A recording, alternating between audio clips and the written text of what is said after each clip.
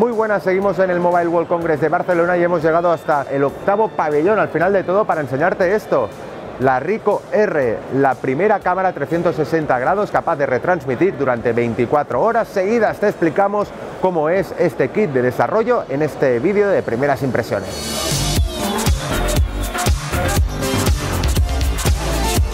Este kit de desarrollo consiste en una cámara con soporte, el software descargable y otros instrumentos de control de código de la imagen y la fuente. Gracias a la tecnología de imagen completamente esférica, la nueva Rico R puede realizar streaming de 360 grados con una resolución Full HD hasta 30 frames por segundo, not bad. Esta cámara esférica tiene una salida de vídeo HDMI y USB para conectarla a la corriente y tiene un slot para una tarjeta micro SD y otro slot para una tarjeta SD. Atención, porque no lleva batería, con lo cual su peso se reduce y mucho. Solo pesa 125 gramos. Una interesante opción que tiene su mercado, sobre todo en el mercado corporativo, en el mercado de la seguridad. Veremos si este desarrollo también sirve para sacar al mercado una Rico de estas características para el gran público. Por cierto, las precompras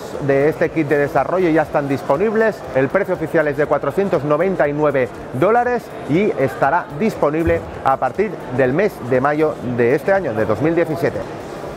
Y por cierto, nos han avanzado que más pronto que tarde llegará la nueva versión de la Rico Teta S, esta vez capaz de capturar vídeo con una resolución 4K.